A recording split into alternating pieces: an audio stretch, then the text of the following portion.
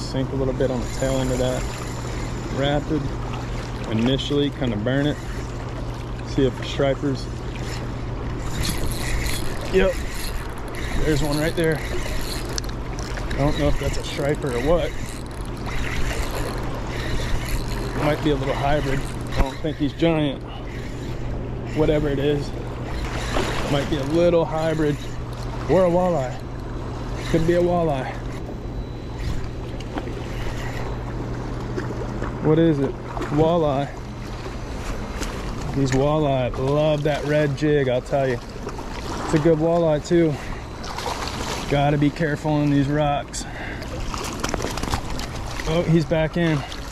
You guys seen him firsthand. Walleye popped the jig.